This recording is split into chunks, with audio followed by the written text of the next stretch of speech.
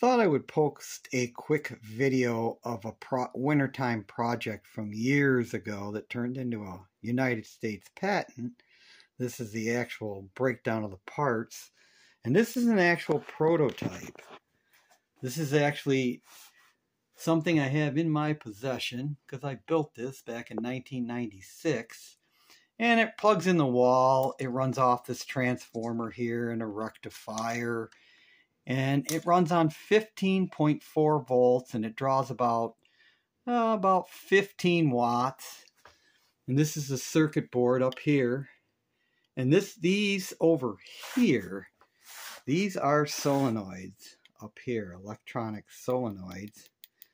And they're they're arranged around the perimeter of this thing. And then inside down here this is the inside pole and they all have an inside and outside pole. So there's another pole up here on top.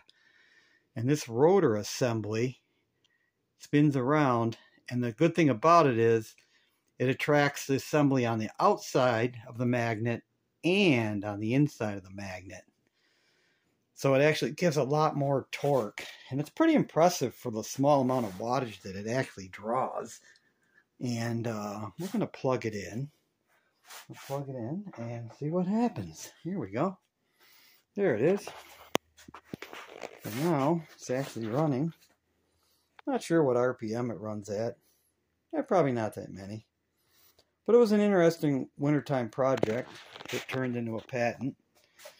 And inside here you can see, I don't know if you can see down in here, but right, right down in here these are infrared emitters and detector arrays. And there's a disc that spins around here, down inside of here. Down the inside right here, there's a disc. You can see it turning. It has slots cut in it. It tells the magnets when to turn on and off. And it's all mounted on this fancy board.